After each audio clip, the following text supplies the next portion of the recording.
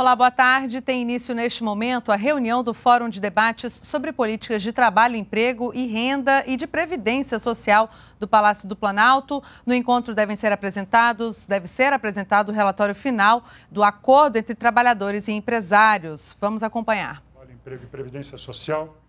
Saudar a presença de todos os nossos convidados das diversas associações que temos acompanhado, especialmente a partir do final do ano passado, quando da do debate sobre a agenda do crescimento e desenvolvimento.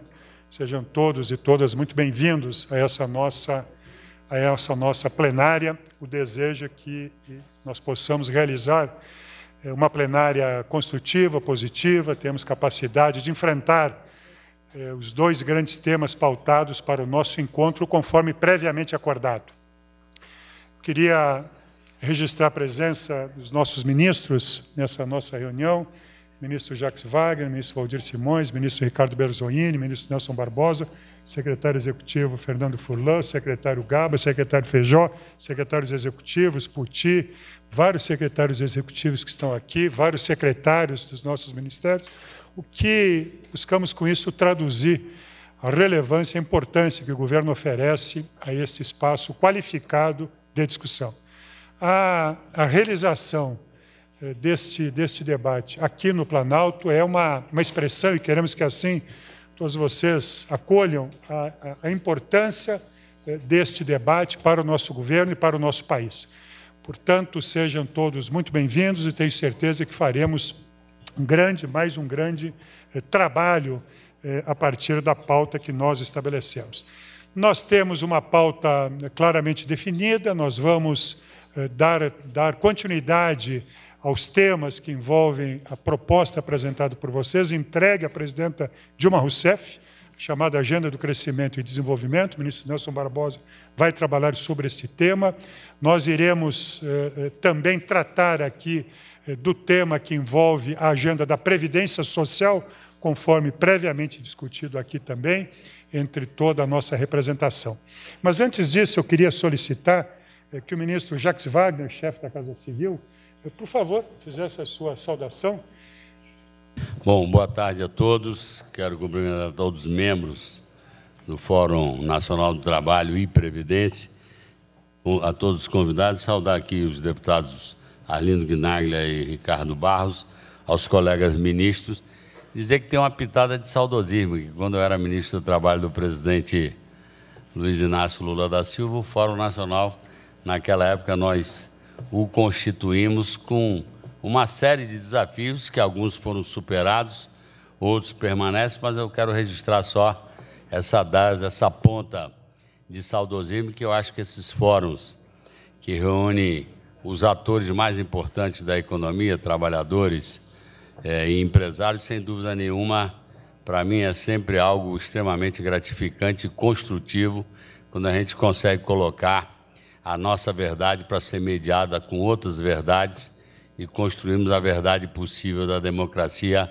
para que a gente possa avançar. Então, quero só fazer essa saudação em nome da, da presidenta também, que evidentemente fez questão de sugerir que essa reunião fosse acolhida aqui no próprio Planalto e desejar que a gente consiga é, enfrentar os desafios com a sabedoria necessária para um momento de tanta dificuldade na economia brasileira e mundial. E como a própria presidenta gosta de dizer, o momento é tão duro e tão difícil para todos nós que nós não temos o direito de desperdiçá-lo olhando para nós mesmos e para as próximas gerações. Então eu desejo que aqui é, que a luz ilumine todas as nossas cabeças, que as nossas paixões sempre bem-vindas estejam limitadas pela racionalidade necessária para o diálogo e que se construa caminhos para a nossa gente. Muito obrigado.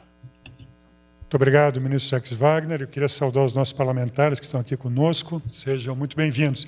Eu passo a palavra ao nosso secretário de governo, por favor, secretário Berzoini.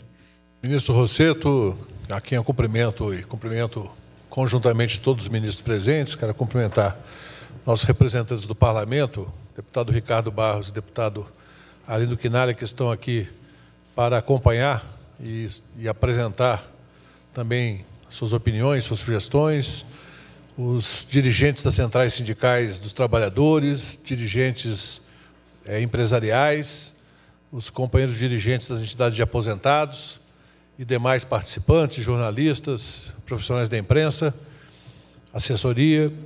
Eu queria, muito brevemente, em nome aqui da, da Presidência da República, em nome do, da, da Presidenta Dilma, dizer que esse é um momento muito precioso para o debate público brasileiro. Nós vivemos, depois de mais de uma década, em que as condições macroeconômicas internacionais e nacionais propiciaram uma série de conquistas importantes do ponto de vista da geração de emprego e renda, do ponto de vista de programas sociais que foram implementados com sucesso, da mudança da pirâmide de renda no Brasil, da mudança de vários indicadores sociais importantes, a redução do déficit habitacional, o crescimento do acesso à educação e à saúde, nós vivemos, a partir do final de 2014, uma mudança muito rápida de perspectivas da economia internacional. E isso exige do governo e da sociedade reavaliar um conjunto de situações e pensar como projetar um futuro para um novo ciclo em outros patamares, em outras é, perspectivas econômicas. Estou dizendo isso pelo seguinte: nós estamos vivendo um momento de reorientação de estratégias empresariais, estratégia dos trabalhadores, estratégia do mercado de trabalho, do mercado consumidor, do comércio exterior. Nós tivemos uma forte mudança cambial no Brasil. O câmbio hoje está num patamar que, é, que traz muito mais competitividade para a economia, mas ao mesmo tempo traz uma pressão inflacionária também que tem que ser administrada.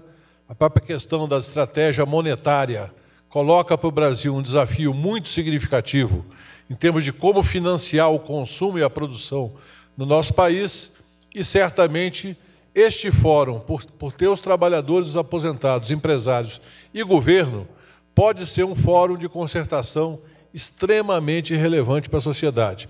Nós temos o, o chamado Conselhão, Conselho de Desenvolvimento Econômico e Social, que tem um papel muito importante.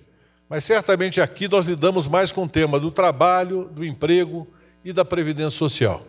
Então, esses três temas têm uma centralidade na vida das nações, na vida das sociedades, na democracia, que coloca para nós uma responsabilidade adicional. Como tratar desses temas delicados, temas que são muito caros para todos nós, sem que haja um nível de conflito que muitas vezes dificulte a conversa entre as partes. E nós sabemos que o tema do trabalho, ou seja, como ter uma, estrutura produtiva no país, capaz de gerar as oportunidades, capaz de gerar renda, de gerar tributos, para financiar o desenvolvimento, não apenas o crescimento econômico, é um tema que é decisivo para o país. Nós ganhamos nos últimos anos conquista da sociedade, com a participação do governo, dos empresários, dos trabalhadores, nós ganhamos dezenas de milhões de empregos. E hoje nós vemos uma situação do mercado de trabalho delicada. Como fazer, do ponto de vista desse diálogo nosso, do ponto de vista do diálogo com o Congresso Nacional, para criar as condições para retomar um ciclo de crescimento econômico capaz de voltar a gerar emprego e não gerar desemprego ou resultar em perda de pós-trabalho. Como fazer isso?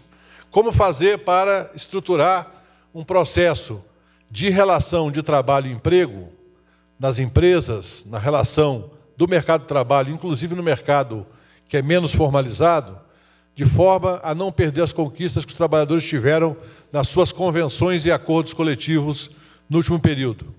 Como fazer tudo isso viabilizando a atividade empresarial, não sacrificando o capital que permite que nós tenhamos o investimento, o financiamento e a geração desse processo produtivo, evidentemente, numa economia capitalista. Esse é o desafio desse fórum que já começou antes, que hoje vive uma nova etapa. E, por fim, como fazer para que uma questão que é uma conquista da sociedade brasileira, eu tive a honra de ser ministro da Previdência no início do governo Lula e vivenciamos com muitos atores que estão aqui presentes, presentes. Diálogos importantes sobre a questão das mudanças e reformas que na época propusemos, como fazer para preservar uma conquista da sociedade que é inclusive admirada por outros países, que é respeitada pelo povo brasileiro, apesar dos seus defeitos, que também fazem parte do processo, que é a nossa Seguridade Social, em particular a Previdência Social, que atende os trabalhadores do setor privado e do setor público.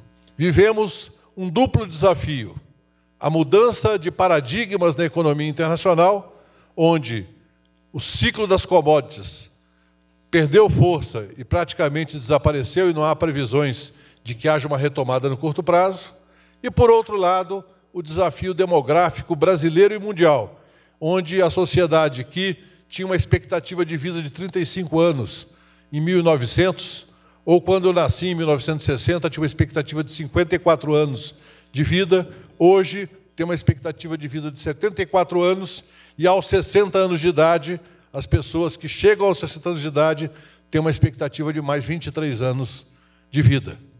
Ou seja, como fazer para esse sistema previdenciário que nós defendemos e apoiamos, que é de repartição, que é de solidariedade intergeracional, que prevê uma cobertura de vários eventos que afetam a renda e a, e a segurança dos trabalhadores e trabalhadoras, mas que tem uma dinâmica vinculada à demografia, como fazer para que ele possa, não para a atual geração, não para mim que já atingi as condições para aposentar, mas ainda não exercer esse direito. Não para quem está por 5, 6 ou 10 anos para aposentar, mas especialmente para quem está ingressando no mercado de trabalho, para que as regras sejam capazes de manter essa solidariedade intergeracional. Solidariedade que é, um, como eu falei, uma conquista dos trabalhadores, uma conquista da sociedade, uma conquista dos empresários também, que muitos são contribuintes do regime geral de previdência social. É fundamental que nós tenhamos aqui a maturidade, na minha opinião, de fazer esse debate sem a, a, a posições que sejam apenas do ponto de vista do enunciado, que nós possamos nos debruçar sobre as informações, os números, que nós possamos questionar os números.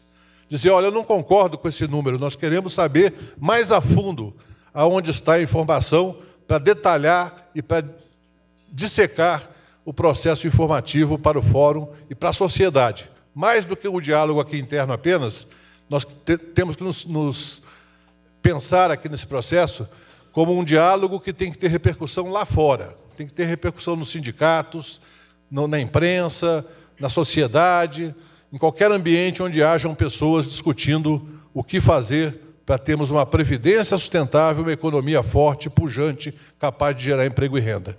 Então, essa é a mensagem que a presidenta Dilma é, pede que nós possamos transmitir às senhoras e aos senhores, que nós possamos fazer aqui um debate muito maduro sobre essa questão e que não há da parte do governo nenhum prato feito, não há nenhuma proposta a priori. O que há é um conjunto de visões sobre o que nós precisamos tratar com maturidade para alcançar um resultado positivo. Então, eu queria, em nome da presidenta, mais uma vez, saudar cada participante do fórum, saudar todos que estão aqui acompanhando e dizer que se nós tivermos muita competência, capacidade de diálogo e firmeza de propósito, nós podemos sair com bons entendimentos, não só sobre a questão da previdência social, mas também sobre a retomada do crescimento, do emprego, da renda, da questão tributária, que não é um assunto é, que esteja no enunciado do fórum, mas que também interessa aos trabalhadores e empresários e que daqui podem sair também propostas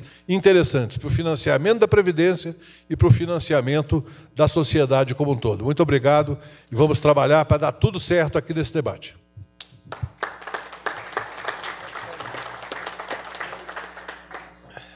Então, senhores, nós vamos só dar um aguardar um tempinho que os nossos amigos e amigas da imprensa se retiram. Nós vamos. O ministro Nelson vai utilizar aquela tela para, para suas apresentações. Essa foi a abertura do Fórum de Debates sobre Políticas de Trabalho, Emprego, Renda e de Previdência Social, que contou com a participação dos ministros Miguel Rosseto, Jacques Wagner, Nelson Barbosa, Ricardo Berzuini, Valdir Simão, além de representantes dos trabalhadores de centrais sindicais e do setor empresarial. Na reunião, realizada no Palácio do Planalto, será apresentado o relatório final do acordo entre trabalhadores e empresários sobre as ações para a transição e sustentação do crescimento econômico econômico. Na pauta serão discutidas a agenda de crescimento econômico e a agenda de previdência social. E nós podemos voltar a qualquer momento com outras informações. Continue com a gente. NBR, a TV do Governo Federal.